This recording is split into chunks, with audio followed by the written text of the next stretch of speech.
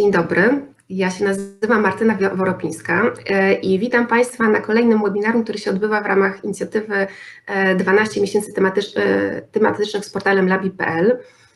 To jest inicjatywa realizowana w ramach programu rozwoju bibliotek, realizowanego przez Polsko-Amerykańską Fundację Wolności wspólnie z Fundacją Rozwoju Społeczeństwa Informacyjnego. A szczegółowiej to jest inicjatywa, która powstała w wyniku współpracy mm, FRSI ze Stowarzyszeniem e, LABIP e, i za prowadzenie tych webinariów w dużej części również są e, odpowiedzialni członkowie i członkinie Stowarzyszenia LABIP. Dzisiejszą naszą ekspertką jest Anna Rutkowska, mm, bibliotekarka z Miejskiej Biblioteki Publicznej w Szczecinie, której za chwilę oddam głos. A, ten, a tematem naszego dzisiejszego webinarium jest trudny czytelnik. I co to znaczy, czy on jest faktycznie trudny, jak, tak jak nam się wydaje, czy może nie, i co się kryje pod sformułowaniem czytelnik ze, specy, ze, ze specjalnymi potrzebami. E, ja przypominam, że mogą Państwo w trakcie całego webinarium, które potrwa do godziny 12, zadawać pytania na czacie. Mm, proszę zadając je e, kliknąć na przycisk z ikonką znaku zapytania, który się podświetli na niebiesko. Wówczas te pytania wpadną nam do takiego worka naszego z pytaniami i będziemy z tego worka czerpać przez ostatnie około 10 minut webinarium, e, próbując na te pytania mm, odpowiedzieć. E, Aniu, ja nie przedłużam w takim razie rozpoczęcia mm, już dłużej i oddaję Ci głos. Proszę, żebyś się przedstawiła i przeprowadziła nas przez część prezentacyjną. Y, dzień dobry Państwu, nazywam się Anna Rutkowska. Tak jak Martyna mówiła, y, pracuję już prawie od 20 lat w Miejskiej Bibliotece Publicznej w Szczecinie. Oprócz tego aktywnie działam w Stowarzyszeniu LABIP. Y, I temat mojego webinarium to oczywiście trudny czytelnik. Napisałam kilka artykułów na ten temat, już miałam kilka wystąpień, zajmowałam się tym tematem, który był mi bardzo bliski, szczególnie wtedy, kiedy pracowałam bezpośrednio z czytelnikiem wypożyczającym książki, natomiast teraz od sześciu lat kieruję działem promocji, więc również mam kontakt z czytelnikiem, ale w trochę inny sposób. Natomiast dodatkowo zajmuję się również osobami z niepełnosprawnościami. To jest dla mnie bardzo, bardzo ważny temat. Cieszę się dlatego, że tak jak mówimy tutaj o tym, o tym temacie grudniowym webinariów i artykułów na portalu, że mówimy o bibliotece przyszłości. Dla mnie biblioteka przyszłości to też jest mówienie o potrzebach specjalnych użytkowników, których, którzy gdzieś tam bardzo często było dosyć mocno byli marginalizowani. Zmieniło się to w momencie, kiedy w życie weszła ustawa o dostępności bibliotek. Y, ten temat nagle stał się y, zauważalny, bardziej popularny, co mnie bardzo cieszy i nasze widzenie i postrzeganie też użytkowników biblioteki pewnie w trochę innym y, kierunku pójdzie. Ale oczywiście proszę się nie martwić, nie będę się dzisiaj skupiać tylko na osobach z niepełnosprawnościami. Wspomnę jeszcze o kilku innych. Chciałabym, aby moje webinarium było takim dopełnieniem webinaru, który prowadziła we wrześniu y, Natalia Gromow z Biblioteki w Gdyni, która opowiadała również o trudnym czytelniku, ale w troszeczkę inny sposób się jemu przyjrzała. Więc myślę, że to będzie dla Was, mam nadzieję, że to będzie dla Was wszystkich cenna, y, cenna baza informacji. Y, no i cóż, zaczniemy. Ja się zmierzę z technologiami. Drodzy Państwo, chciałabym wiedzieć, kim dla Was jest taki trudny czytelnik, jakie macie, jakie macie skojarzenia. I proponuję Wam wejście na stronę menti.com. Chciałabym, żeby Martyna tutaj wkleiła link. Na tej stronie trzeba wpisać, trzeba wpisać kod, który się tutaj w mojej prezentacji pojawił, 55 94 98. Tak, link już jest, kod też jest podany na czacie. Więc proponuję Wam, żebyście tam weszli, hmm, a ja spróbuję udostępnić ekran.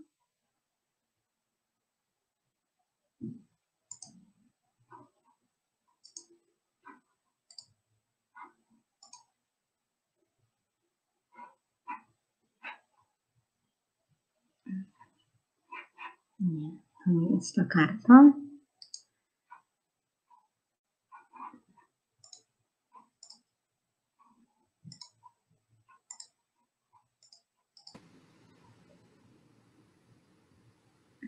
Mhm. Dobrze. Ja jeszcze teraz się pogubiłam i nie wiem, czy Państwo to wpisują, czy nie wpisują, ale zaraz zobaczymy. Jeszcze raz. To e, Ania szuka e, karty. Ja Państwu wkleiłam na czacie link oraz kod. Ja jeszcze raz podam ten kod. To jest 55 94 98. Jeszcze O. raz go wkle, wklejam. e, Wpisujecie, widzę, jakie macie skojarzenia bardzo różne. Czy teraz, y, Martyno, czy widać tę chmurę z odpowiedziami?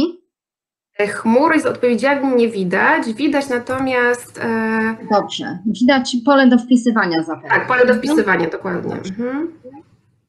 To już wiem o co chodzi. To sobie zamknę i zrobię ostatnie, trzecie podejście.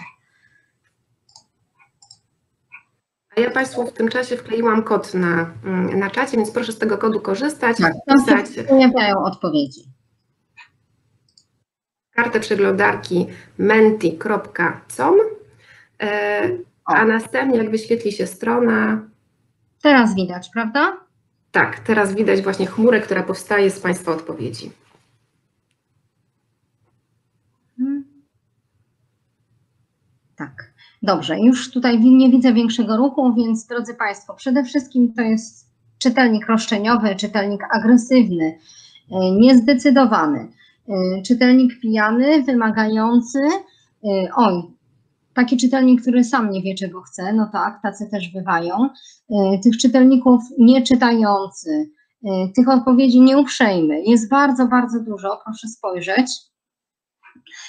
Zatrzymam już teraz to dzielenie ekranu i wracamy do naszej, do naszej prezentacji o trudnym czytelniku. Y, Tak, dokładnie. Każdy z nas ma bardzo różne skojarzenia, jeśli chodzi o trudnego czytelnika. I tak naprawdę wszystko zależy od tego, jaką mamy konstrukcję psychiczną, y, jaki, y, co nam, co, co dla nas też jest problemem, na przykład jeśli chcemy, jeśli obsługujemy czytelników. Ym, Jaki jest dzień? To są czynniki zewnętrzne, wewnętrzne. Tych, tych, tych przyczyn jest bardzo dużo. Y, I stąd myślę też, że te Państwa odpowiedzi były bardzo różne, tak? Bo y, gdybym zobaczyła, gdyby przyszedł do mnie czytelnik, który sam nie wie, czego chce, y, i, i gdybym miała go obsłużyć, to wolałabym zdecydowanie takiego czytelnika, którego mu mogę polecić kilka dobrych książek i go odpowiednio podpytać o to, czego potrzebuje, niż obsługiwać czytelnika tak naprawdę, który przychodzi pijany, czy jest agresywny. Tak? To, to, to, to, to nie ma co tutaj ukrywać. Więc te nasze odczucia też mają prawo być tak naprawdę bardzo, y, bardzo różne. Y, y, Ja bym chciała dzisiaj jednak mówić ba- bardziej o trudnym czytelniku, który jest czytelnikiem z niepełnosprawnością, o osobach z zaburzeniami psychicznymi. Chciałabym też powiedzieć o obcokrajowcach, o czytelnikach właśnie, to już będzie zdecydowanie mniej o czytelniku takim mało kulturalnym, tak go ładnie nazwałam, czytelniku y, na bakier z higieną, czy y, czytelniku dosyć nadaktywnym w wirtualnym świecie, który też może nam sprawić w jakiś sposób problem. No właśnie. I czytelników y, z niepełnosprawnościami mamy y, kilka rodzajów. To jest czytelnik z niepełnosprawnością ruchową, z niepełnosprawnością wzroku, y, słuchu i z niepełnosprawnością y, intelektualną. Y, Tacy czytelnicy przychodzą do naszej biblioteki tak naprawdę w zależności, gdzie pracujemy, w jakiej miejscowości, czy takich osób jest więcej, czy mniej, czasami a czasami dwie, czasami tych osób jest więcej. Wiadomo, że jeśli na przykład oferujemy czytelnikom zbiory audiowizualne, to będziemy, jest szansa duża, że będziemy mieli więcej osób y, z niepełnosprawnością wzroku w naszej bibliotece. Jeśli mamy y, dostępną bibliotekę pod względem architektonicznym dla osób poruszających się na wózku, to tych osób będzie też więcej. Y, Więc to jest oczywiste, że, że pewne rzeczy nie zależą od nas, pewne, pewne zależą gdzieś w, tej, w tym kontakcie z czytelnikiem tak zwanym trudnym, bo według mnie to nie jest tak naprawdę trudny czytelnik, tylko to jest czytelnik ze specjalnymi potrzebami, który przychodzi do nas, do biblioteki. E, Jeśli przychodzi taki czytelnik do nas, e, bardzo często tak naprawdę nie wiemy, jak się zachować. mm, obawiamy się, czy go nie urazimy, czy nie powiemy czegoś nietaktownego. I to jest bardzo oczywiste. Nie ma czego się wstydzić, e, trzeba się do tego też przyznać, bo jeśli e, nie uczestniczyliśmy w jakimś specjalistycznym szkoleniu, czy nie mamy takiej osoby wśród naszych najbliższych czy znajomych, no to po prostu bardzo często albo działamy intuicyjnie, albo nie, nie wiemy, co zrobić w takiej dla nas nowej sytuacji. A co możemy zrobić? Na pierwszym miejscu uważam, że jest życzliwość tak naprawdę. I to jest taka podstawowa rzecz. Uśmiech, skierowaniem wzroku na tę osobę, to jest podstawa, zainteresowanie, to już jest pierwszy sygnał y, w, naszej, w naszym kontakcie. Druga rzecz, którą możemy zrobić, to jest oczywiście wiedzieć więcej, tak? Przeszkolić się, poczytać, porozmawiać, dopytać. Kolejna rzecz, możemy zapewnić dostępność, o tym też za chwilę powiem. No i podstawowa rzecz, oczywiście, to wszystko nam pomoże w odpowiedniej komunikacji z takim zwanym trudnym czytelnikiem ze specjalnymi potrzebami. E, uśmiechnąć się, zapytać jak pomóc, nie pomagać na siłę, to jest taka podstawowa rzecz, tak? Bardzo osoby, które są e, niepełnosprawne mają bardzo, e, bardzo różnie się zachowują, część z nich jest, część z nich jest bardzo, bardzo samodzielna i niekoniecznie chcą pomocy, część jest mniej samodzielna, wówczas zawsze warto zapytać, czy czy pomóc, czy nie. Jeśli ta osoba nie będzie chciała pomocy, to nam zdecydowanie odpowie. E, wiedza. E, warto wiedzieć, słuchajcie, na czym polega niepełnosprawność, ponieważ tak naprawdę mm, to nam może wiele rzeczy rozjaśnić i może nam też e, wytłumaczyć, dlaczego w taki, a nie w inny sposób dana osoba się, dana osoba się zachowuje, jeśli z nami, z nami rozmawia. Bardzo często jest tak, że jeśli mm, osoba z niepełnosprawnością narządu ruchu, to nie jest tylko osoba poruszająca się na wózku, ale to jest osoba, która ma na przykład ogólnie obniżoną sprawność motoryczną, tak? To na przykład może się tak zdarzyć, że taka osoba będzie miała problem z samodzielnym wyjęciem książek z półki, y, z taką y, samodzielną, y, samodzielnym poruszaniem się po wypożyczalni, z wyszukaniem czegoś, więc warto o tym wiedzieć, żeby takiej osobie też w odpowiedni sposób y, pomóc. Y, osoby z niepełnosprawnością wzroku również y, również mają bardzo różny stopień tej niepełnosprawności. Są osoby słabowidzące, są osoby, które nie widzą od urodzenia, są osoby są osoby ociemniałe, czyli te, które straciły wzrok po piątym roku życia, więc e, one troszeczkę inaczej się poruszają e, e, w świecie. Warto o tym wiedzieć. Tu dla przykładu pokażę Państwu właśnie, jak widzi osoba, która ma lunetowe pole widzenia ograniczone, więc jeśli ona do nas przyjdzie do biblioteki, nie oczekujmy, że szybko od razu zareaguje spojrzy w stronę, w którą y, my im wskazujemy, że na przykład po prawej stronie są kryminały, e, ona potrzebuje trochę więcej czasu, musi więcej ruchów głową wykonać e, i warto też o tym wiedzieć, nim się na przykład niepotrzebnie zdenerwujemy. E, co jeszcze? Osoby niesłyszące, które przyjdą do biblioteki, one też również różnią się między sobą. Są osoby niesłyszące, które posługują się polskim językiem migowym e, i są osoby e, i na przykład nie znają dobrze języka polskiego. Są osoby, które na przykład straciły słuch w późniejszym czasie albo mają, mają niedosłuch i posługują się aparatem słuchowym. Więc one, one też całe życie czytały na przykład książki, e, obcowały z literaturą, więc też trochę inaczej rozmawiały wcześniej normalnie, więc też będą inaczej się z nami komunikować w bibliotece. E, są osoby niesłyszące, które mm, straciły słuch po nauczeniu się języka polskiego i one będą biegle czytały dłuższe teksty, trudniejsze, e, mogą sięgnąć też po trudniejszą literaturę. To też jest istotne.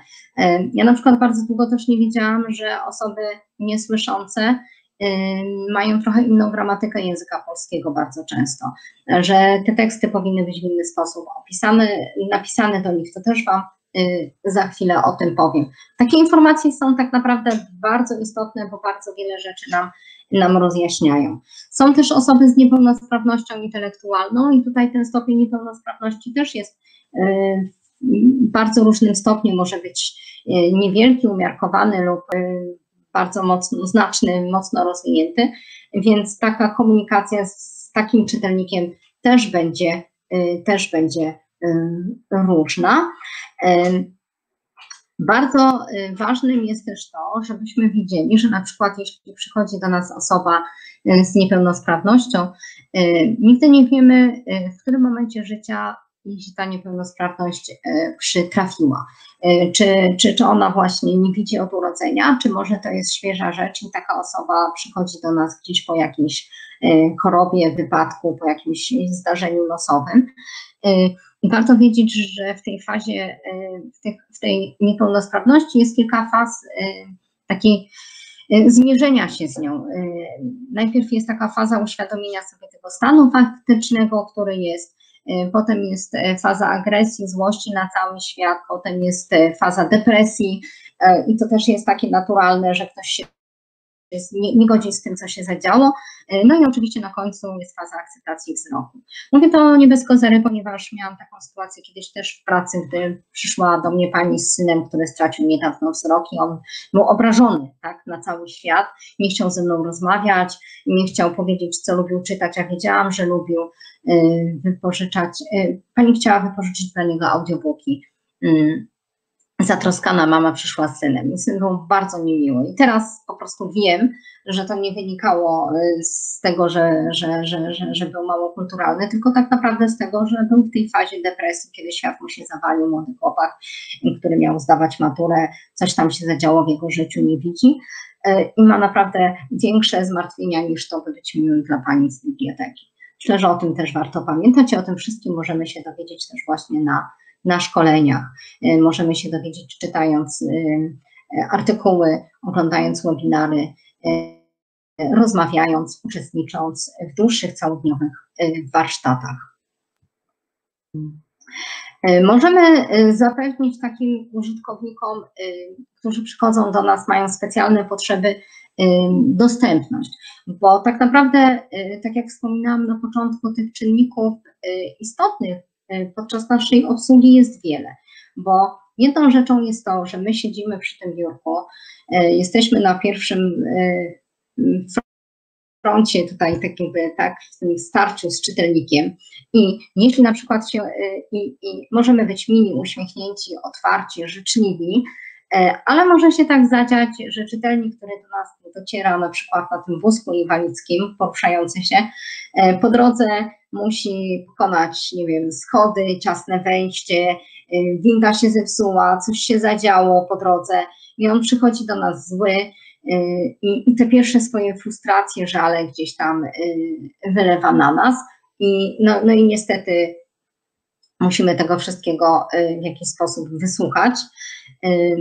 I, I jeśli na przykład zadbamy o to w naszej bibliotece, niekoniecznie my Y, jako bibliotekarze, ale też ktoś z naszej, y, naszej administracji czy osób decydujących w bibliotece, o to, żeby nie było na przykład barier takich podstawowych, żeby gdzieś tam nie było niepotrzebnych przedmiotów w przejściach, y, żeby, no to mamy dużą szansę też, że taki czytelnik przyjdzie do nas już będzie bardziej zadowolony i przyjdzie tylko konkretnie po, po, po, po książki czy po inne zbiory.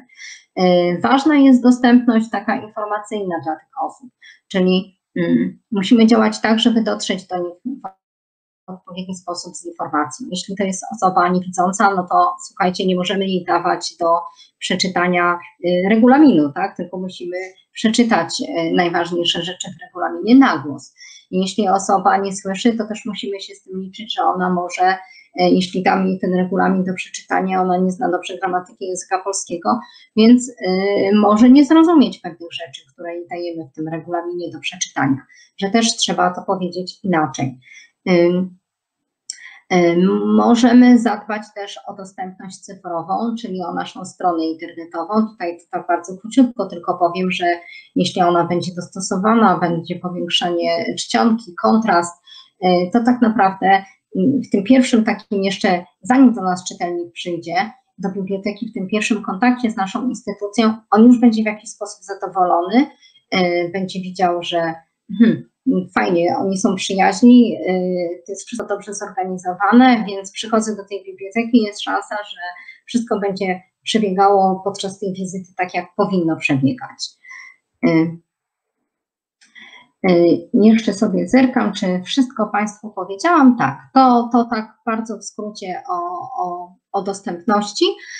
Natomiast komunikacja, komunikacja, jeszcze raz komunikacja to jest tak naprawdę podstawa, podstawa wszystkiego.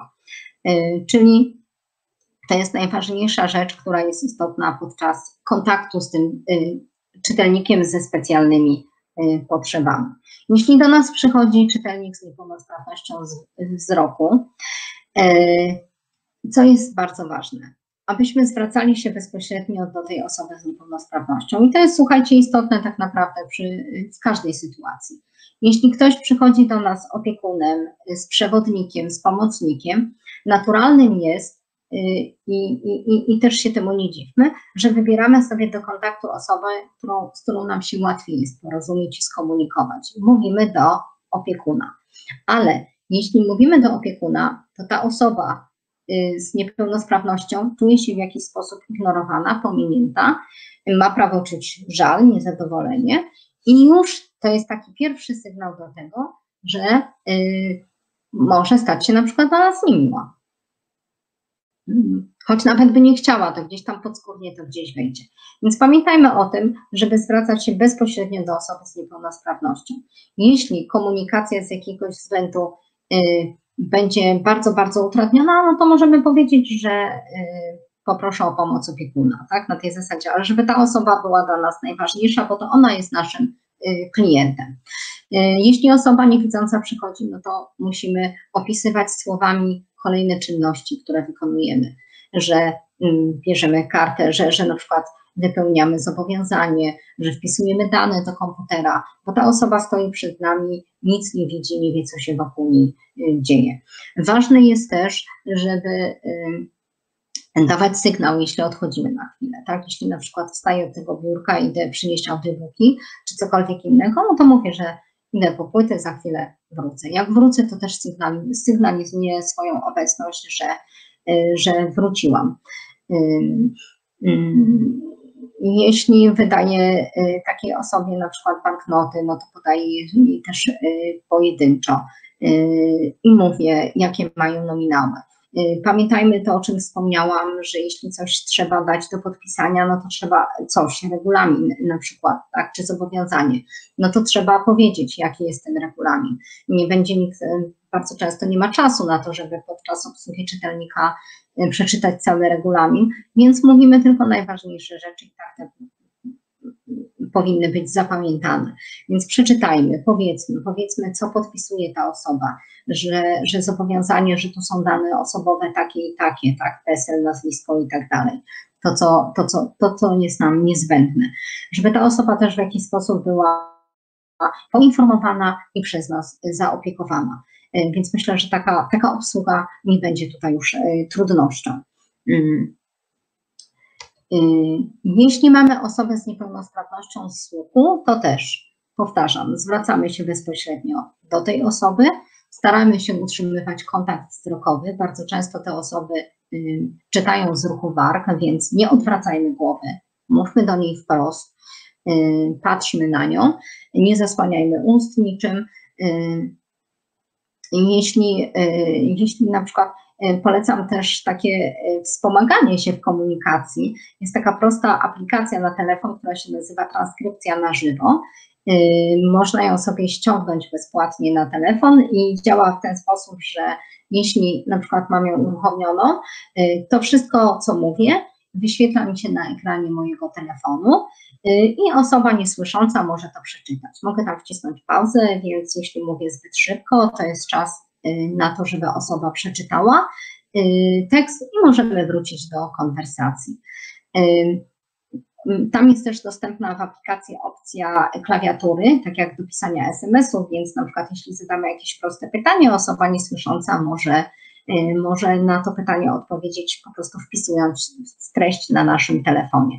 No i wiadomo, że teraz w momencie, kiedy jest COVID, to, to, to, to, to, to z tej opcji nie korzystamy raczej, ale można też zdezynfekować tak naprawdę ręce i można skorzystać. Zresztą osoby niesłyszące, słuchajcie, i tak są pokrzywdzone, bo przecież my chodzimy w maseczkach, jak mają czytać, zrób uwagę właśnie. Można też korzystać z takiej zwykłej, najzwyklejszej opcji karteczkowej. Można dać karteczkę z, y, z długopisem prosić na migi pokazać, że prosi się o y, na przykład napisanie pytania. I uwierzcie, że y, można się w ten sposób świetnie, świetnie komunikować, nie trzeba krzyczeć gdzieś na pół wypożyczalni czasami, żeby, żeby dowiedzieć się czegokolwiek od czytelnika.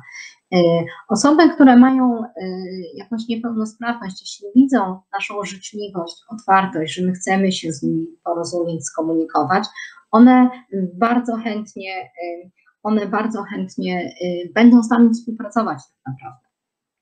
Mm. Więc nie martwmy się, że to na początku może troszeczkę wyjdzie jakoś dziwnie, potem się dotrzemy i ta komunikacja naprawdę będzie bardzo dobra. Warto też nauczyć się kilku zwrotów językowych. Teraz w internecie jest bardzo dużo poradników, filmików. Można nauczyć się powiedzieć do widzenia, dzień dobry. E, a, jeszcze jedna ważna rzecz, słuchajcie, jeśli obsługujemy osobę z niepełnosprawnością wzroku, e, też nie bójmy się używać właśnie tych podstawowych zwrotów do widzenia, do zobaczenia takich zwyczajowo przyjętych. To jest bardzo naturalne. E, o tym też warto wiedzieć i pamiętać. Jeśli przychodzi do nas osoba z niepełnosprawnością intelektualną, znowu zwracamy się bezpośrednio do niej.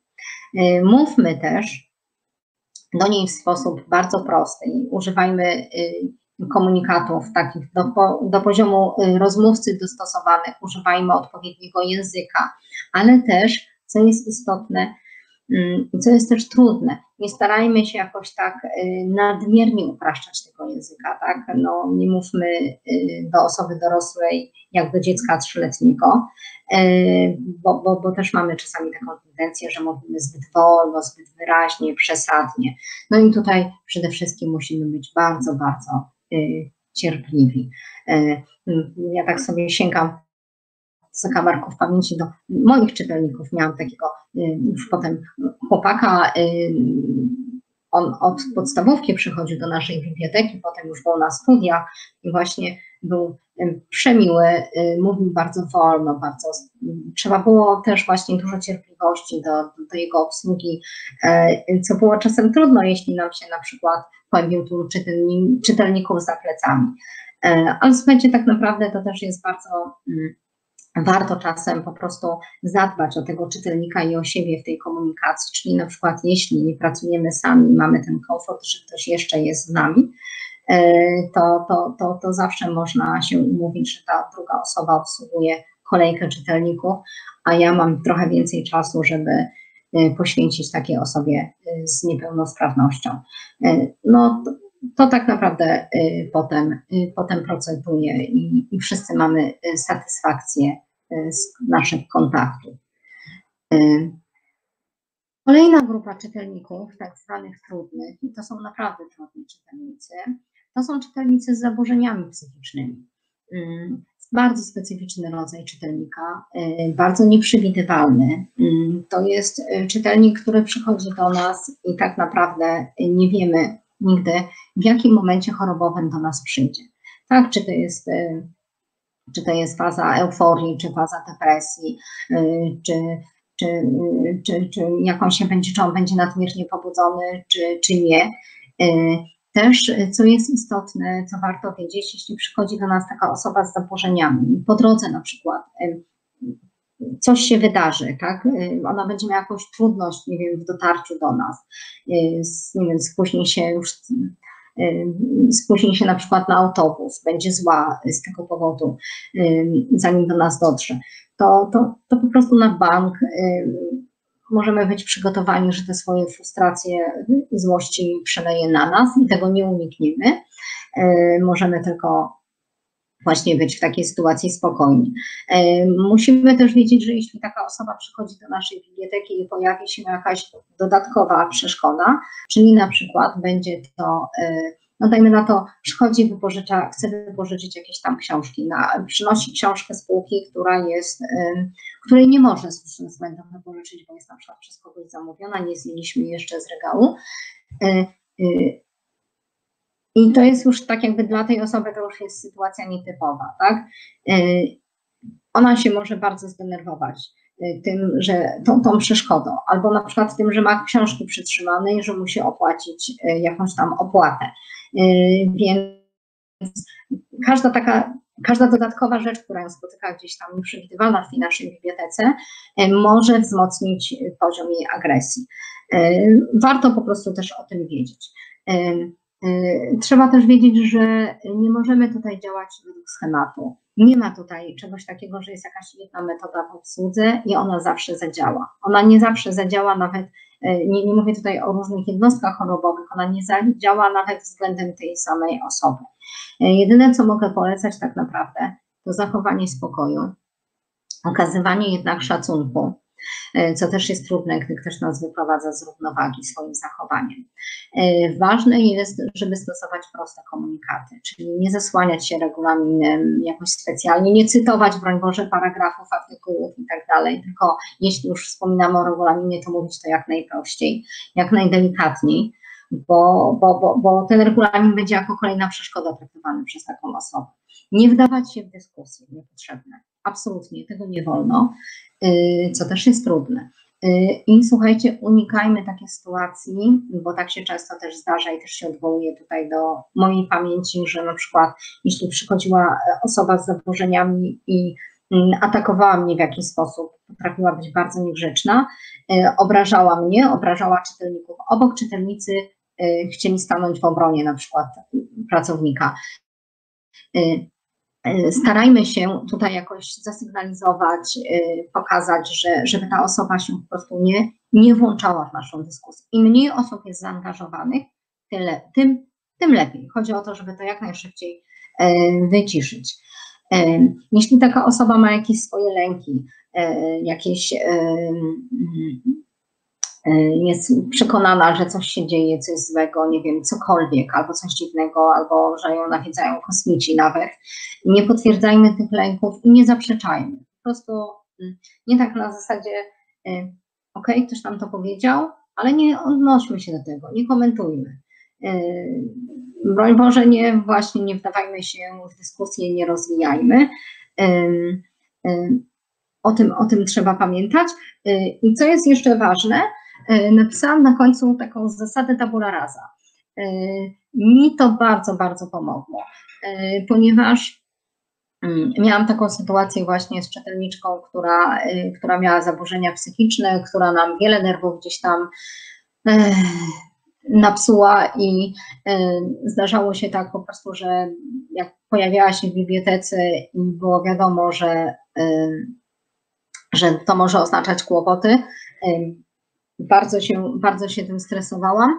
Mm, i y, bałam się, że po raz kolejny dojdzie do jakiejś konfrontacji, awantury, czegokolwiek.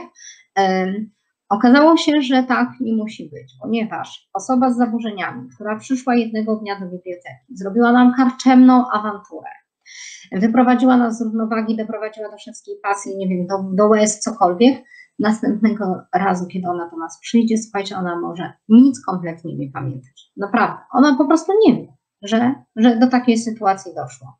Yy, więc my powinniśmy też nie obsługiwać jej, przez, patrząc na nią przez pryzmat takiej sytuacji, tej poprzedniej, która miała miejsce, tylko po prostu podejść do niej jak do zupełnie nowego, życzliwego, zwykłego czytelnika i w ten sposób obsługiwać. Naprawdę jest duża szansa, że nic się nie wydarzy, bo w momencie, kiedy będziemy mieli w sobie to napięcie, uraz z poprzedniej wizyty, coś już się między nami będzie działo. Te osoby są często bardziej wrażliwe, one to wyczują i kolejne, kolejne spięcie, kolejna jakaś niewygodna sytuacja jest, jest gotowa. Y, zdarzało mi się naprawdę, że przychodziła, y, czy, przychodził czytelnik, który był niezadowolony, miał, wiedziałam, że jest zaburzony, y, chciał pisać na przykład skargi na mnie, do mnie, na moich pracowników, do moich pracowników, więc ja mu dawałam te kartki, pozwalałam pisać, zabierałam je, no i tyle. Więc po prostu też tak jakby nie drążyłam tematu. Powiedziałam, że to nie chodzi o to, żeby to gdzieś poszło dalej, tylko żeby, że, że, że, że ten czytelnik jest zaburzony i, i on musi, no, no, no ma, ma taką potrzebę działania w ten sposób. I tak naprawdę tutaj, jeśli chodzi o czytelnika z zaburzeniami, to to polecam szkolenia, warsztaty, takie dłuższe, całodniowe. Ich nie ma dużo, ale jeśli są, to warto pójść na takie szkolenie, warto potem się podzielić ze swoimi pracownikami wiedzą, bo tak naprawdę każda taka sytuacja, każda jednostka chorobowa, każda osoba też jest inna i nie ma tak naprawdę złotej recepty na to, jak się zachować w danej sytuacji. Y, I, i tak jak sami też wiemy, bardzo często jest tak, że Y, jeśli na przykład mamy lepszy dzień, y, jesteśmy bardziej jakiś, tacy bardziej odporni, jesteśmy wypoczęci, to zdarza nam się, że do takiej osoby my też inaczej podejdziemy y, i ta obsługa będzie zdecydowanie prostsza. Ale warto też wiedzieć właśnie, że to, o czym wspomniałam, o tych kilku rzeczach, myślę, że to nam się przyda gdzieś tam w komunikacji i w obsłudze. Czytelnik trudny to może być też obcokrajowiec. To może być czytelnik, który jest mało kulturalny, czytelnik, który jest na bakier z higieną i nadaktywny w wirtualnym świecie. Ale ja jeszcze sobie pomyślałam o jeszcze jednym rodzaju czytelników. To jest właśnie czytelnik ze specjalnymi potrzebami, czyli oprócz tych osób z niepełnosprawnością, to są, słuchajcie, y, to są mamy z dziećmi, to są mamy z wózkami, y, to są y, osoby poruszające się o kulach, to są osoby starsze. Pamiętajmy o takich prostych rzeczach w tej obsłudze, żeby im zapewnić jakieś miejsce, żeby mogło sobie usiąść. Że jeśli na przykład y, mama chce, nie wiem, no, no po, mówię na przykład, myślę sobie o przewijakach, o miejscach do przewijania małego dziecka, ale na przykład jeśli mamy, mamy wypożyczalnię i postawmy tam gdzieś z boku jakieś krzesełko, żeby ta osoba mogła y, na chwilę przysiąść, jeśli jest zmęczona, przychodzi na przykład dla niej pokonanie schodów jest już wyzwaniem, więc niech sobie odstawnie i dopiero po chwili możemy ją obsłużyć. Podejdźmy do niej, weźmy od niej te książki, może przynieśmy, bo ma problem z poruszaniem. To są takie, wiecie, drobiazgi, takie, y, o których warto, warto pamiętać. Ale wracajmy teraz do naszych czytelników tutaj na slajdzie. Y, obcokrajowiec. Tu się uśmiecham, ponieważ y, tak naprawdę E, osób takich jest bardzo dużo. Przychodzi do nas do bibliotek mnóstwo na przykład y, Ukraińców, którzy przyjeżdżają do nas w celach zarobkowych i pamiętajmy, że biblioteka jest dla nich takim jednym y, z tych miejsc, które, y, w których mają dostęp do kultury całkowicie tak naprawdę bezpłatny, więc będą do nas przychodzić. Oni są też bardzo otwarci, bardzo często chcą się uczyć języka polskiego, często przyjeżdżają całymi rodzinami to są dzieci, to są mamy, które mają więcej czasu też na czytanie, chcą czytać, zresztą Ukraińcy sporo czytają. Warto, warto im stworzyć jakąś ofertę w naszej bibliotece, warto się z nimi e, komunikować e, i jeśli nie, pamiętajmy, że oni też są otwarci. Jeśli oni do nas przychodzą do naszej biblioteki, chcą wypożyczyć książki, chcą się zapisać do biblioteki, oni chcą się z nami porozumieć, więc jeśli nie znamy tego języka dobrze, tutaj akurat z ukraińskim to myślę, że nie ma aż takich problemów. Myślę bardziej o innych sytuacjach, gdy przychodzi osoba posługująca się obcym językiem. No to oczywiście uśmiech przede wszystkim, można się zawsze jakoś na mugi, na mugi posłu, posłu, po, posługiwać, e, porozumieć. Można też korzystać z translatora Google'a, e, można poprosić po prostu kogoś do pomocy i też nie ma co się tego wstydzić, jeśli nie znamy dobrze języka. Pamiętajmy po prostu tyle, że ta osoba, która przychodzi, ona nie chce wyjść z pustymi rękami, ona chce załatwić u nas sprawę. Y, I teraz na szczęście już jest też coraz większa taka otwartość, jeśli chodzi o regulamin i o zapis obcokrajowca prawda, do, naszej, y, do naszej biblioteki. Y, czytelnik małokulturalny, który przychodzi do nas, o tym też sporo mówiła Natalia podczas swojego webinarium tego wrześniowego, o którym wspominałam na początku, ale słuchajcie, tutaj kilka rad, czyli przede wszystkim to, żebyśmy byli mm, spokojni, starali się być spokojni i stanowczo, tak? Czyli stanowczo musimy zareagować, musimy, nie wdawajmy się też w dyskusję, nie dawajmy się sprowokować. Jeśli ta osoba ma potrzebę wygadania się, niech się wygada, tak? Niech puszczajmy to mimo uszu czasami właśnie, a często nas kusi, żeby tam coś odpowiedzieć, żeby pokazać, kto ma rację. Nie ma sensu. Starajmy się też mówić troszkę wolniej, spokojniej, łagodniej, wtedy ta osoba być może się wyciszy. Warto też na przykład y, powiedzieć, że, y, że prosimy, y, żeby właśnie ta osoba mówiła spokojniej albo ciszej troszeczkę, bo to przeszkadza innym osobom przebywającym w bibliotece. Czyli odwołanie się, powołanie się właśnie na, na inne osoby, na to, że tutaj ktoś jest jeszcze. Co jeszcze? No i oczywiście trzeba też w tej całej sytuacji dbać o siebie, słuchajcie, bo kiedyś, kiedyś na różnych szkoleniach mówiono, że generalnie no, czytelnik ma rację, klient ma rację, owszem, ale też nie za wszelką cenę. Y, trzeba dbać o siebie, o własną strefę komfortu. Y, jeśli ktoś na przykład krzyczy na nas, to możemy powiedzieć, żeby tego nie robił. Y, możemy też, jeśli ktoś przekracza taką strefę osobistą naszą, tak, pochyla się nad nami nadmiernie, możemy się odsunąć. Nawet powinniśmy, bo wtedy nam jest łatwiej rozmawiać z tą osobą, łatwiej nam też się uspokoić. Warto też można też na przykład wstać, y, wtedy ta pozycja też jest inna do, y, do, do rozmowy. Co jeszcze polecam? Mm, nie używać określenia kara, jeśli chodzi o opłaty za przetrzymanie. Ja zawsze pracując z czytelnikiem i z zespołem bibliotecznym bardzo mocno pilnowaliśmy tego, żeby mówić opłaty za przetrzymanie. Nie kara. Nikt nie lubi być karany. I, i co jeszcze, y, gdy, gdy, już do tej opłaty dojdzie, gdy ktoś musi uregulować, a naprawdę zdarzały się takie sytuacje, że ktoś mi tam wyliczał każde 20 groszy, bo przyszedł w połowie dnia, a nie wieczorem, y, więc też musiałam mu w jakiś sposób uzasadnić to. Y, więc czasami właśnie pozwalałam się tym osobom wygadać, bo wiedziałam, że za chwilę będzie można to chyba obrócić w żart, że, że, że, że, że o 20 groszy to naprawdę nie ma sensu się kłócić. Y, y, I to czasami też skutkowało, y, więc myślę, że, że, że, że warto w ten sposób rozmawiać z takim czytelnikiem mało kulturalnym. Jest jeszcze czytelnik, przepraszam, jest jeszcze czytelnik, czytelnik na bakier z higieną i to jest bardzo trudny rodzaj czytelnika, I tak naprawdę to od nas bardzo często zależy, czy będziemy w stanie takiemu czytelnikowi zwrócić uwagę, czy nie.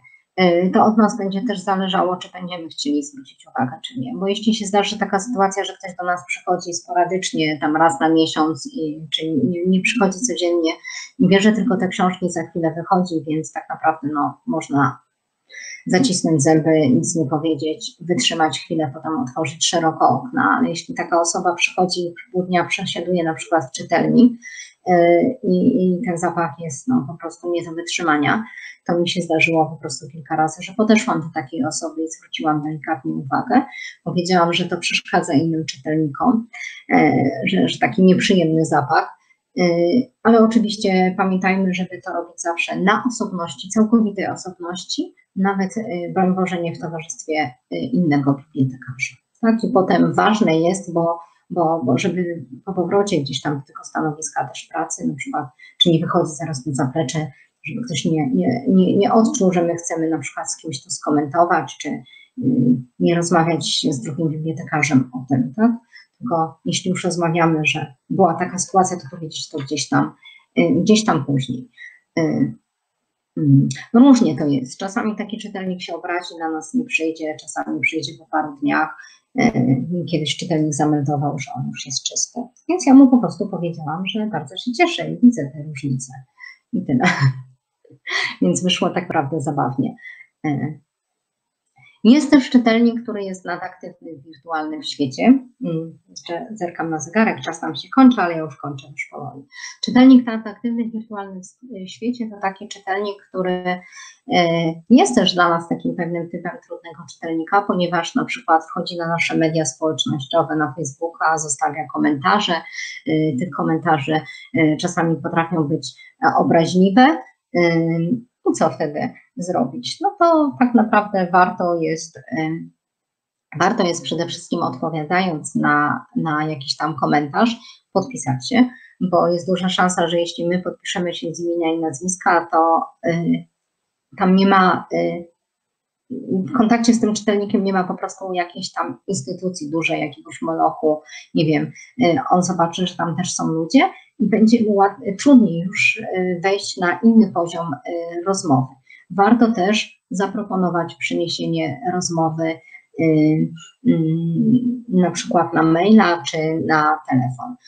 Mi się też zdarzyła taka sytuacja, że gdzieś tam taką burzę internetową po prostu też zrobiliśmy szybką naradę, co z tym fantem zrobić i przynieśliśmy ją po prostu na telefon. Potem okazało się, że w rozmowie z taką czytelniczką, która tam nas zalewała y, błotem, y, wytłumaczyłam, jak to może też wyglądać od drugiej strony i ona bardziej to przyjęła spokojniej w rozmowie telefonicznej niż przyjęłaby to na tym Facebooku, prawda? Bo na Facebooku to by było dalej takie odbijanie piłeczki trochę. I ona nie chciałaby się przyznać, że, y, że ona jednak nie ma racji, a tutaj już nie była obserwowana i y, nikt tego nie komentował, nie lajkował, więc było, było po prostu łatwiej. Więc to, to polecam. No i Y, co jeszcze? Myślę, że y, osobnym tematem jest tak naprawdę y, czytelnik taki covidowy.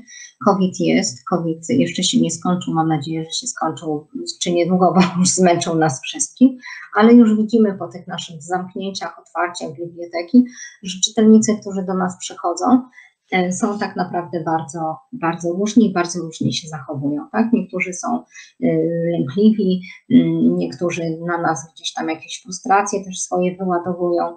E, w takiej sytuacji covidowej to myślę, że warto też po prostu jeśli czytelnik przychodzi, oddaje książki, a nie chce nic wypożyczyć, nie ma co go namawiać na siłę, warto tylko wskazać, że dbamy o bezpieczeństwo, o higienę, że są środki do dezynfekcji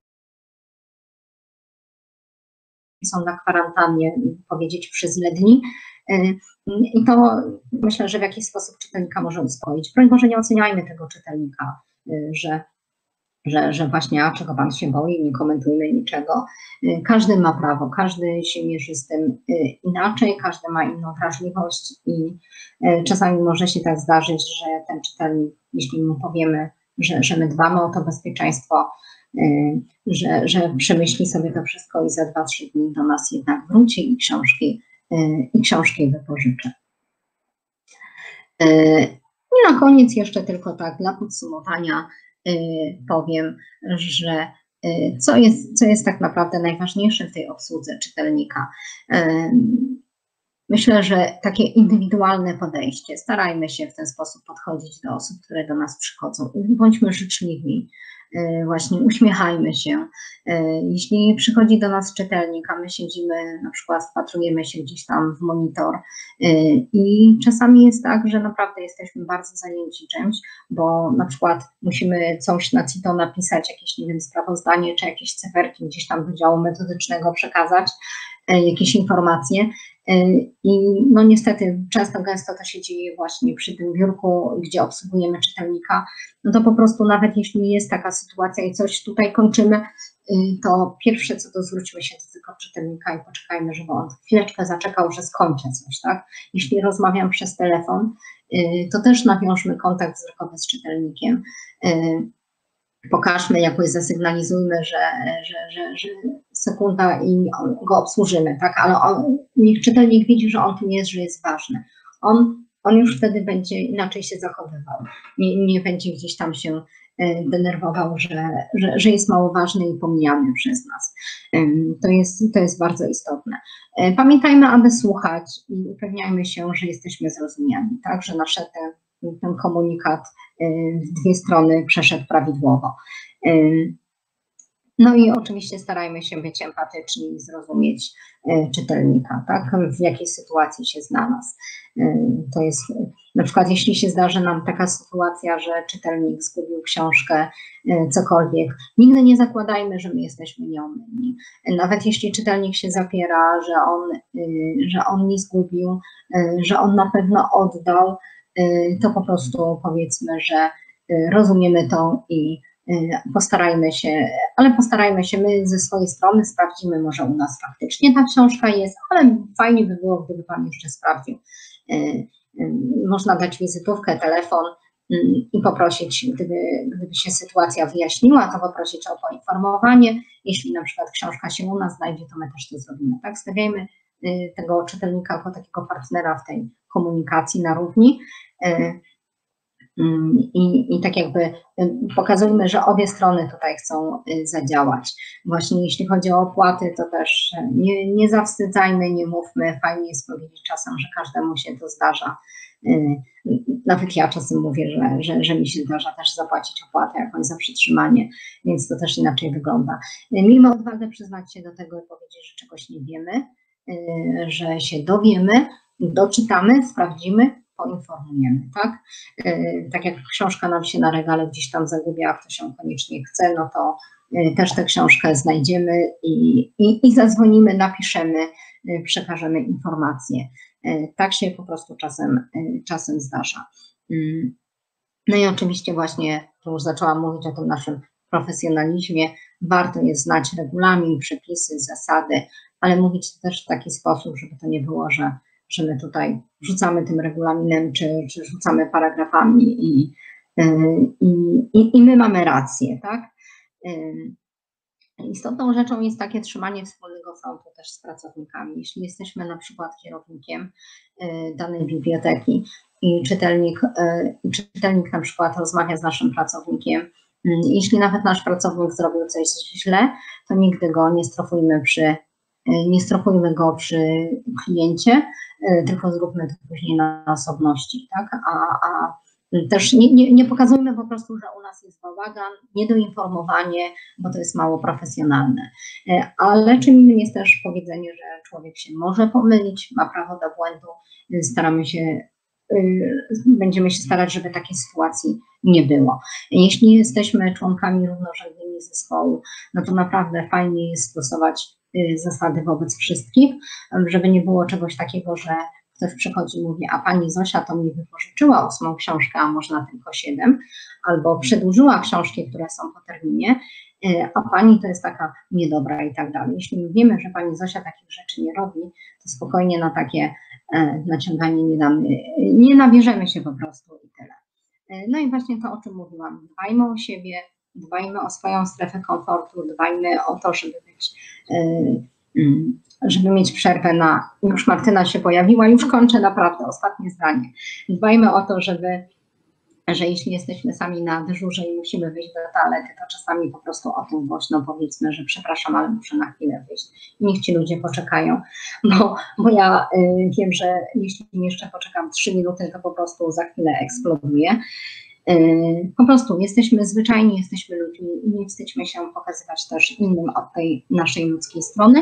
No i na koniec powiem, korzystajmy naprawdę ze szkoleń. Y, bo wszystko się zmienia, nastawienie się zmienia, sytuacje się zmieniają y, i ciągle coś się dzieje nowego. No i to tyle z mojej strony, chyba powiedziałam wszystko. Uf, dziękuję za uwagę. E, Aniu, bardzo Ci dziękuję za prezentację. Ja też Ci nie przerywałam, bo to, co mówiłaś, było niezwykle ciekawe i, i ważne, e, ale jednocześnie na czacie pojawiło się bardzo dużo pytań. W związku z tym, e, po pierwsze, mam taką informację, że dla Państwa, że nie wiem, czy na wszystkie nam się uda odpowiedzieć. Mm, natomiast, jeżeli się Aniu zgodzisz i jeżeli Państwo mają chwilę czasu, żeby z nami dłużej zostać, to proponuję, żebyśmy przedłużyli to nasze webinarium o około 5 minut, tak żeby faktycznie mieć 10 minut na pytania i odpowiedzi i wtedy z pewnością e, część z tych pytań nam się e, uda e, poruszyć. Ja pytania techniczne zostawię na koniec, Państwu na nie oczywiście odpowiem. Natomiast publikuję w tym momencie jakby już takie pytania w takiej kolejności, jak one były zadawane. Pani Karina pyta, czy wypada zapytać, jeśli podejrzewamy, że czytelnik ma specjalne potrzeby, na przykład czy potrzebuje pomocy. Tak, jak najbardziej. Ja y, miałam o tym chyba wspomnieć, nie wspomniałam. Pytajmy, słuchajcie, pytajmy, czy czytelnik potrzebuje pomocy. Y, nie ma nic gorszego niż bycie takim też y, nad, bardziej, nadmiernie opiekuńczym. Y, myślę też o osobach, które na przykład. Ja zawsze pytam, tak, bo, bo na przykład przykład. Widzimy, że ktoś wkłada jakieś książki do torby, cokolwiek, tak, cokolwiek się dzieje. Robi to troszeczkę wolno, niegramotnie E, no to po prostu zapytajmy. Nie, nie, nie łapmy za tą torbę, ale zapytajmy, czy, czy można panu, czy pani y, pomóc. Jak najbardziej. Y, I po prostu najwyżej ktoś będzie, y, ktoś tam odmówi, powie, że nie, dziękuję, tak? Może być tak, że ktoś po prostu też, to jest to, o czym mówiłam w tych fazach niepełnosprawności też, że ktoś na przykład może się obruszyć, jeśli go zapytamy o to, ale też się nie martwi. To po prostu to jest jego reakcja i nie czujmy się odpowiedzialni za jego reakcję, bo ktoś na przykład będzie chciał na siłę też pokazywać, że on jest y, sprawny, tak? Że nie potrzebuje tej pomocy. Tak też może być. Ale pytajmy, po prostu pytajmy. E, w pytaniu nie ma nic złego, w związku z tym zadajemy też kolejne pytanie. Czy bibliotekarz przyszłości powinien znać metody komunikacji alternatywnej, tak aby móc porozumieć się z czytelnikiem mającym problemy z komunikacją werbalną? Pyta Pani Anna. O, Pani Anno, tak, to jest sytuacja idealna. E, komunikacja alternatywna.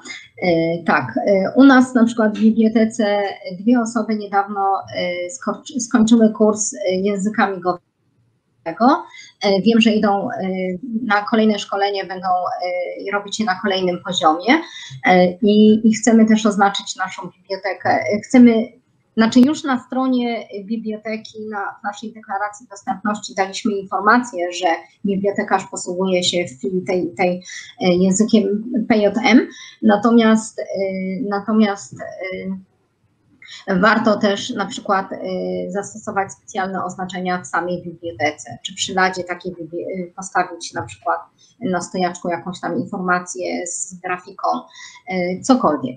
Tak, to jest w ogóle, słuchajcie, sytuacja idealna. Fajnie by było też dla mnie też taką komunikacją alternatywną to jest też tak naprawdę prawidłowa komunikacja z osobą niewidzącą. Więc jeśli mamy audiobooki i oferujemy je w naszej bibliotece, to dobrze by było, żeby pracownicy, którzy tam pracują, wiedzieli w jaki sposób się komunikować. Y, tak, że trzeba być oczami tej osoby niewidzącej, że trzeba słownie wszystko opisywać, to co się robi, opisywać też przestrzeń, czytać i tak dalej. Y, Y, to, o czym wspomniałam, o tej aplikacji Transkrypcja na żywo, są też jeszcze inne aplikacje, z których można korzystać. Y, myślę, że to jest, że, że, że, że to jest właśnie bycie bibliotekarzem przyszłości jak najbardziej. Nie tylko same nowe technologie, dla nowych technologii, dla y, wirtualnej rzeczywistości i tak dalej, ale do pracy właśnie z czytelnikiem. Kolejne pytanie zadała Pani Joanna i to jest pytanie jakby bardzo konkretne. Gdzie można znaleźć książki dla osób z niepełnosprawnością wzroku? Jeśli pytamy o książki papierowe, to tak naprawdę jest teraz y, bardzo popularna seria Wielkie Litery. Y, to, ta seria była kiedyś, kiedyś wydawana wiele lat temu, y, natomiast teraz, co jest fajne, tych tytułów jest dużo więcej, więc wystarczy sobie w internecie wpisać seria Wielkie Litery, wydawnictwo i i, i, i, te książki się tam pojawią. Można je kupić, są też materiały y, takie promocyjne, plakaty, zawieszki, y, które można, o które też można poprosić i dostać i mieć w swojej bibliotece. Bo myślę, że to chodzi o to. Nie mówię tutaj o książkach z Braille'em. Jeśli chodzi o książki na przykład napisane Braille'em, to tutaj też się warto zastanowić, czy je wprowadzać w ogóle do naszej biblioteki, ponieważ taka książka objętościowo bardzo dużo miejsca zajmuje. Książki te są drogie, i też e, część, duża część osób, na przykład młodych, mm, nie uczy się już Braille'a w tej chwili. Mm, ona korzysta właśnie z elektroniki, z opcji odczytywania e, ekranu, więc może niekoniecznie warto. To tak od razu uprzedziłam, bo nie wiem, czy też nie o to chodziło. No i oczywiście audiobooki, można też w swojej bibliotece na przykład zrobić coś takiego, że można w jakiś sposób oznaczyć książki jakimś grafiką, na przykład oka, y, takie książki, które mają y, dużą czcionkę, po prostu to światło między wersami gdzieś tam. To w ten sposób też można y, zrobić. Mhm. Aniu, nie wiem, czy jesteś w stanie odpowiedzieć na to pytanie. Być może Państwo też mogą e, Pani Monice pomóc, bo e, Pani Monika prosi o tytuły książek, które powinny się znaleźć w bibliotece szkolnej, e, związane, znaczy tak naprawdę adresowane do dzieci ze spektrum autyzmu. Dopytałam się, o co tutaj Pani Monika ma na myśli, mówiąc o trudnym czytelniku. Aha, o trudnym czytelniku. To nie, to ja nie jestem w stanie pomóc tak teraz z głowy, ale tak naprawdę y, przychodzi mi na myśl y, pani y, Ola, nie pamiętam nazwiska, wybaczcie, z SBP. Proszę, proszę może panią Monikę, żeby się do mnie odesłała na maila i ja jej, ja, ja jej odpowiem, tak? Albo sobie porozmawiamy, ja jej odpowiem też, bo, bo była kiedyś taka akcja, y, cykl szkoleń y, bibliotekarzu y, zaprzyjaźni się z osobą z autyzmem, chyba jakoś tak. I, I tam było bardzo dużo materiałów, dużo informacji. Natomiast, natomiast ja uczestniczyłam w takim szkoleniu z, z rzecznictwa dostępności w bibliotece i tam też był temat osób z autyzmem poruszany więc uczyliśmy się, jak przygotowywać przestrzeń w bibliotece dla osób, do zajęć, do aktywizacji osób z autyzmem. Y, jest też literatura i tego bardzo dużo jest takiej literatury na rynku, można by było poczytać. Y, odsyłam też do strony Fundacji Kultura Bez Barier, która ma tam u siebie w materiałach trochę informacji o osobach z autyzmem. To tyle tak na szybko, co mogę powiedzieć. E, bardzo Ci dziękuję. Ja tylko powiem, że był jeszcze jeden komentarz, nawet nie pytanie, nawet dlatego go nie wyświetlam, ale e, jedna z pań e, pisała również o tym, że na przykład ma takie obawy na zapisywanie na zajęcia plastyczne dzieci ze spektrum autyzmu i rozumiem, że w tych źródłach, które przed chwilą podałaś, ona również tak. znajdzie podpowiedzi, jak sobie z takimi obawami, takimi sytuacjami radzić. Kolejne pytanie, znowu jakby króciutkie i techniczne. Jak się nazywa aplikacja, o której wspominałaś w trakcie? A, y, transkrypcja na żywo. Transkrypcja na żywo. Y, ona jest, ja mam telefon y, w Playu, więc wystarczy, tak sobie sięgam po mój telefon, ja mam tę aplikację zainstalowaną. Transkrypcja na żywo. O, ma taką zieloną ikonkę, już jej nie ma. Ja już ją sobie uruchomiłam. Bardzo, bardzo prosta aplikacja. Bezpłatnie do ściągnięcia. E, robiłam też to, to, tutorial taki do tej, o tej aplikacji. Ona jest, e, ten tutorial jest dostępny na stronie Biblioteka Aplikacji, którą e, robiła Monika Schmeichel. I tam jest tutorial krok po kroku pokazujący, jak te aplikacje obsługiwać, jak zainstalować, jak z nich korzystać. Ale naprawdę świetna rzecz, mi ją po prostu, słuchajcie, pokazał kiedyś mój znajomy, który pracuje z osobami niesłyszącymi. No tak w takiej luźnej rozmowie jest. Wiedziałam, że kurczę, ja zawsze tylko korzystałam z karteczek, a teraz mogę korzystać z takiej opcji. Tam sobie czcionkę w ogóle można powiększyć, więc też jest fajna dla osób, które na przykład oprócz tego, że nie słyszą, nie dowidzą. No. Bardzo Ci dziękuję za tą rekomendację i też jakby rekomendujemy oczywiście stronę Biblioteka Aplikacji e, stworzoną przez e, Labibiankę Monikę Szmajch-Zarzeczną. E, artykuł o tej stronie również znajdą Państwo na portalu Labib. E, a ja już wyświetlam kolejne pytanie, zadane tym razem przez panią Ewę, która pyta się o to, czy ma prawo odmówić założenia karty czytelnikowi, e, jeśli podejrzewa zaburzenia psychiczne, które mogą być przyczyną tego, że nie jesteśmy pewni do końca, czy ta książka zostanie zwrócona. Tutaj dopowiadam, bo to była druga część pytania. Nie, nie, słuchajcie, jeśli do nas ktoś przychodzi i daje nam swój dokument tak naprawdę, to trochę to jest e, i, i my My wiemy, że to może być pierwsza i ostatnia wizyta w bibliotece. No nie mamy takiego prawa. Tak? Możemy ewentualnie, no nie wiem, jeśli to jest wyjątkowo cenna książka, no tak naprawdę, no nie wiem, można powiedzieć, że, że no, no co, no przecież nie powiemy, że tej książki nie ma, tak? Jeśli ona jest w katalogu, jest dostępna. Musimy wypożyczyć. To trochę tak, jak jest taka sytuacja, jak przychodził do biblioteki czytelnik, który mi wyglądał bardzo, bardzo podejrzanie i ja po prostu wiedziałam, że dobra, sprzedaję za pół litra, za rogiem za chwilę, albo znajomy z antykwariatu mi je przyniesie. Ja po prostu no, no nie miałam możliwości, musiałam go dopisać, tak? Robiłam czasami coś takiego, nie wiem, czy ja mogę publicznie o tym mówić, że, że po prostu jak, jak widziałam ewidentnie, że ten człowiek jest zainteresowany ceną książki, bo słuchajcie, czasami nawet z tym się nie kryli, tak? O, a droga ta książka, coś tam, no słuchajcie, przecież nikt normalny o to nie pyta, przychodząc, zapisując się do biblioteki. No to po prostu zamiast tych siedmiu książek, to mu dawałam na przykład na początek trzy książki. Mówię, dobra, jak stracę, to stracę trzy, a nie siedem. Że to taki limit na początek, a przy następnej wizycie dostanie więcej. No to tak, no po prostu, no tak podpowiadam jakieś takie rozwiązania, ale absolutnie nie możemy tutaj odmówić. Ta osoba ma e, pełne prawo, żeby przyjść do nas i się zapisać do biblioteki. Mhm. Kolejne pytanie. Tak, kolej, kolejne pytanie od Pani Elżbiety. E, co z czytelnikiem, który czyta od lat i to dużo, ale zdarza mu się przyjść pod wpływem alkoholu do biblioteki, jest wtedy agresywny słownie do innych czytelników? Hmm. Jeśli nie jesteśmy, to są, to są bardzo trudne sytuacje i tutaj nie, nie ma jednej złotej rady, tak naprawdę, bo ja słuchajcie, miałam, miałam czytelnika, który przychodził pod wpływem narkotyków czasem i potrafił otworzyć plecak i powiedzieć, że tam coś ma. Yy, yy, I, i ludzie patrzyli w ogóle podejrzliwie, a on był tak naprawdę ogólnie, w ogóle nie był niebezpieczny. Yy, musiał o tym tylko światu ogłosić. Natomiast czytelnicy pod wpływem alkoholu też przychodzili jeśli ktoś jest bardzo agresywny, to po prostu nie dyskutujemy z nim specjalnie, tylko wzywamy ochronę i tyle. Albo policję, jeśli nie mamy ochrony. No, no, no po prostu.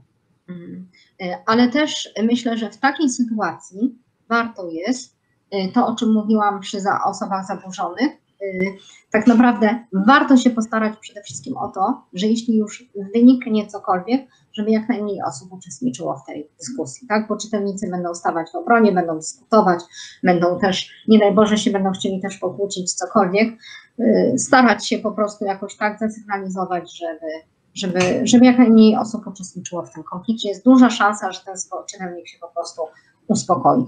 Można spróbować oczywiście na początku powiedzieć, tak, proszę nie krzyczeć, proszę się uspokoić, postawić granice, powiedzieć to stanowczo. Ja tak naprawdę mówiłam i, i czasami też dostawałam okrzan od moich pracowników, że, że, że, powinnam e, nie wdawać się w dyskusję, nie rozmawiać, tylko na przykład już wzywać ochronę, ale czasami to też skutkowało i, i taki gość po prostu rezygnował. E, ale myślę, że tutaj e, wzywać ochronę i naprawdę, słuchajcie, nie bójmy się tego, dbajmy też o swoje bezpieczeństwo.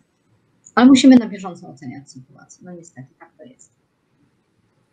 E, pani Jolanta pyta z kolei, gdzie można kupić książki w języku ukraińskim? Czy Państwo wiedzą, czy Ty Aniu wiesz? Yy, to ja tak, nie czuję się tutaj kompetentna do końca, żeby odpowiedzieć. Mogę tylko wspomnieć, że książki, które my mamy w bibliotece, to są książki, które są yy, z darów głównie i też warto zrobić, na przykład to podpowiadam, że można zrobić taką akcję, że jeśli są Ukraińcy, z którymi można współpracować, oni chętnie przyniosą książki do biblioteki na zasadzie takiej właśnie, że będzie można potem je dalej wypożyczać. E, natomiast e, wiem, że to nie jest prosta sytuacja, przynajmniej tak było jakiś czas temu, ponieważ to były kwestie związane z cłem i tak dalej. E, sporo informacji na ten temat i chyba nawet szkolenie wprowadził Wójtus, jeśli chodzi o Ukraińców. Więc odsyłam po prostu do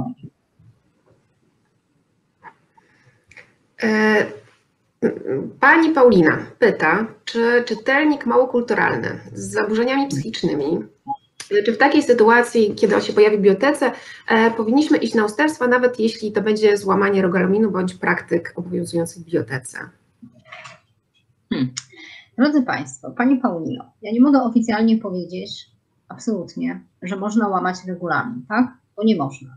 Ale z drugiej strony, e, jeśli e, jesteśmy, e, znaczy tak, jeśli czytelnik, uważam, że jeśli czytelnik jest mało kulturalny tak naprawdę, no to przepraszam, za to, że jest chamski, agresywny i niegrzeczny dla nas i krzyczy, to nie oznacza, że on musi coś od nas y, w ten sposób uzyskać, tak? Bo, bo nawet jak jest taka prosta sytuacja, że y, ktoś na przykład szuka książki, bo, bo, bo ją zgubił, albo ma, ma, musi zapłacić za tę książkę, to ja mogę zaproponować na przykład, bo, bo mi też jest szkoda czytelnika, tak? Mogę mu zaproponować przedłużenie tej książki po terminie, napisać uwagę, że y, czytelnik jest w trakcie tam odkupowania książki i tak dalej, bo na przykład taniej ją dostanie na Allegro niż, y, niż ma, ma, mają od ręki gdzieś kupić za jakąś niebotyczną cenę. Okay, mogę iść na rękę czytelnikowi w wielu sytuacjach. Ja myślę, że to nie jest, y, to podałam jako przykład, bo, bo to jest tak jakby, no, no jest to przedłużenie warunkowe, jakiś tam dodatek książki, które ale zawsze są takie sytuacje, kiedy można zadziałać. Natomiast uważam, że jeśli ktoś jest niemiły, agresywny i tym sposobem chce od nas postawić na swoim i coś wywalczyć, uważam, że nie powinniśmy tego absolutnie robić, tak? Y, niektórzy tak robią dla świętego spokoju. Niektórzy potrafią opłatę zapłacić za kogoś. No ale przepraszam, dlaczego? Ja mogę opłatę zapłacić, bo mi będzie szkoda, nie wiem, staruszki, ale nie kogoś, kto jest niegrzeczny i mi się awanturuje tutaj o te 20 groszy, czy tam o ileś. Y, to to. Natomiast jeśli jest osoba z zaburzeniami psychicznymi, to tak naprawdę jeśli ona jest naszym stałym czytelnikiem, e, to czasami warto na ten temat porozmawiać z przełożonymi i powiedzieć, jaka jest sytuacja. I być może e, czasami tak naprawdę y, warto jest tej osobie, nie wiem, przedłużyć po raz kolejny książkę, zrobić coś takiego, coś co myślę, że no nie wiem, nie jest takie, e, nie jest, nie jest brakuje mi słowa, nie jest takie aż bardzo wbrew regulaminowi, tak? E, że, że nic złego się takiego nie stanie. I na przykład może, mo, może warto pójść w tym kierunku, niż na siłę udowadniać swoją rację i pokazywać, że moje jest mojsze. E, to, to, to myślę o tym, że, że, że tak można by było zrobić. Mhm. E, kolejne pytanie, to już, to już jest jedno z ostatnich pytań, które mhm. mamy. E, jeszcze na, na, koniec Państwu odpowiem na te pytania techniczne, które Państwo zadają.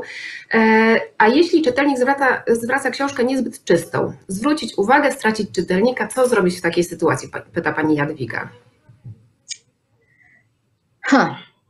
Zwrócić, zwrócić uwagę, tylko słuchajcie, istotne jest to, w jaki sposób powiemy czytelnikowi. Można to powiedzieć czasami oj, można zażartować, tak, można to powiedzieć z uśmiechem. Czasami się zdarza sytuacja, że ktoś na książce postawił filiżankę z kawą i jest odciśnięta ta, ten, ten, ten kubek, to też można powiedzieć, ho, ho, ho, tak, widać, że pan pił kawę czy coś tam, e, że, że, że lubi pan na przykład pić herbatkę czytając, no nie wiem, tak cokolwiek jakoś tak żartem powiedzieć, e, i, I, czasami ktoś nawet się nie zreflektuje, wiecie, że ojej, no faktycznie coś tam się stało i będzie pilnował. I wtedy można zawsze to powiedzieć, że prosimy dbać o te książki, bo one są też dla innych czytelników. Ale jest jeszcze jedna sprawa, słuchajcie, tak naprawdę za te książki to my odpowiadamy, tak? I odpowiadamy w tym sensie, że my odpowiadamy gdzieś tam wyżej, bo to jest też cała ścieżka. To nie jest tak, że e, czytelnik odda tę książkę i co? I ona jest, na przykład jeśli nie nadaje się do czytania, no to, e, no to już inni czytelnicy nie będą tej książki mogli czytać. My ją przekazujemy na przykład do ubytkowania, no to też musimy się wytłumaczyć, dlaczego książka dwa razy wypożyczona na przykład idzie do ubytkowania. Także tak jakby czasami warto też spokojnie powiedzieć czytelnikowi, jak to wszystko wygląda właśnie, bo czytelnik nie ma, y, nie ma tej wiedzy, E, nie zdaje sobie z tego sprawy, tak, że ta książka ma służyć jeszcze innym czytelnikom. To trochę tak jak ja zawsze starałam się mówić, żeby czytelnicy nie kładli książki tak, wiecie, kartkami do dołu i nie, nie rozkładali, bo te książki się rozklejają. Jak zwracałam uwagę i prosiłam o używanie zakładki dawałam zakładkę, to mówiłam też dlaczego. Mówiłam dlatego, że te książki są słabo teraz zrobione, słabo klejone i one po dwóch, trzech razach się rozklejają i nie nadają się do czytania. Po prostu zawsze odnosić się też do, do, do, potrzeb na przykład innych osób, że to jest dla wszystkich, że warto dbać. No i wydaje mi się, że czasem lepiej warto stracić czytelnika niż czytelnika, który będzie przychodził raz w tygodniu, brał po 7 książek y, za tydzień i oddawał i wszystkie będą zniszczone. Tak? No, no po prostu to trzeba przekalkulować. I ostatnie pytanie, takie bardzo aktualne, związane z naszą sytuacją epidemiologiczną, e, które zadaje pan Jan. Co zrobić z czytelnikiem, który notorycznie i wydaje się, że na złość odmawia założenia maseczki, albo tłumaczy, że nie musi, bo on już przeszedł? O, to szczęśliwe, że przeszedł i nie musi. E, tak, nie, tak poważnie to, drodzy Państwo, e, takiego e, spróbować się odwołać do tego, że są inne osoby, które E, że są inne osoby w bibliotece, które muszą dbać o swoje bezpieczeństwo, chociażby pracownicy, tak, e, biblioteki, zawsze warto pokazać właśnie ten inny punkt widzenia. że są inne osoby, które, które, dla których to bezpieczeństwo i noszenie maseczek jest istotne. I że prosimy o uszanowanie tych zasad, tak? Nawet o uszanowanie. To, to też jest takie, myślę, że fajne słowo. To, to czasami jest istotne, słuchajcie, warto usiąść i sobie wypisać takie, takie słowa, którymi warto się posługiwać właśnie zamiast tej kary, opłaty za przetrzymanie, dostosowanie się, uszanowanie, tak, to zupełnie inaczej brzmi. E, a jeśli odmawia i nie chce przychodzić z maseczką, no to tak naprawdę y, trzeba go ostrzec, trzeba mu powiedzieć, że nie będzie obsługiwany, no bo takie są zasady i tyle. Aniu, e, jest 12.15. Mam, miałyśmy jakby ponad 15 minut więcej czasu na, na, te, na te pytania, ale miałam wrażenie, że one są wszystkie ważne i e, i dlatego pozwoliłam sobie przedłużyć mm, dla Państwa to webinarium. E, dziękuję Ci za to, że zechciałeś na nie wszystkie odpowiedzieć. Ja szybko teraz jeszcze postaram się odpowiedzieć na te pytania techniczne adresowane do mnie. Faktycznie e, mm, Pani Jolanta, Jolanta pisze, o której są e, webinaria o 10 czy o 11. Państwo zwrócili uwagę na to, że w mm, systemie rejestracyjnym wkradł się błąd i że była informacja, że webinarium jest o godzinie 10, a nie o godzinie 11, czy tam od, od godziny 10 do 12. Natomiast ja teraz wyjaśniam, że wszystkie nasze webinaria trwają trwają godzinę bądź odrobinę dłużej, natomiast zaczynają się o godzinie 11. To webinarium się zaczęło o godzinie 11 i jeszcze dwa grudniowe webinaria, które mamy przed sobą, e, piątkowe i 21 grudnia, jeżeli się nie mylę, również zacznie o godzinie 11. Więc nawet jeżeli system Państwu pokazuje inaczej, to proszę pamiętać, że na platformę logujemy się o 11 bądź chwilę przed 11 i webinarium będzie trwało około godziny. Czy e, są wydawane zaświadczenia z webinarium? E, platforma działa w ten sposób, że jeżeli zarejestrowali się Państwo z własnym adresem mailowym, to na ten adres po zakończeniu webinarium zostanie wysłany automatycznie z platformy webinaryjnej certyfikat. W żaden inny sposób tych certyfikatów nie wydajemy, w związku z tym e, proszę szukać w spamie, jeżeli po zakończeniu webinarium taki certyfikat do Państwa mm, nie dotrze. E, czy będzie możliwość wysłania webinarium na pocztę mailową? Nie wysyłamy nagrań webinariów na pocztę mailową również dlatego, że to są bardzo duże pliki. E, natomiast to webinarium za kilka dni będzie można sobie w dowolnym momencie nagranie z tego webinarium odtworzyć na platformie YouTube i dokładny link do tego nagrania, do tego filmu, który będą Państwo mogli e, obejrzeć, zostanie umieszczony na portalu labib.pl w artykule poświęconym tym, temu webinarium, które, o którego umieszczenie poproszę mm, Anię jako autorkę i ekspertkę dzisiejszej prezentacji.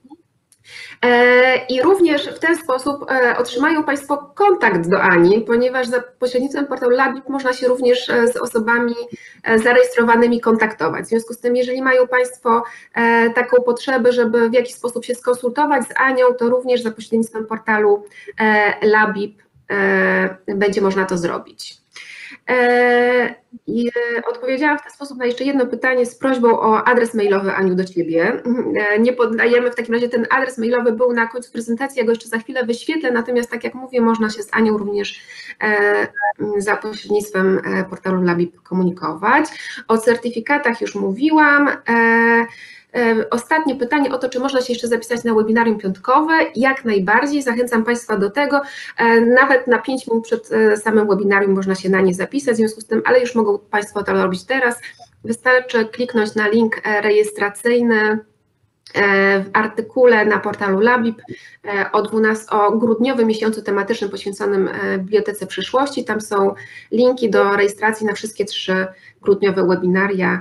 Mogą się Państwo jak najbardziej rejestrować.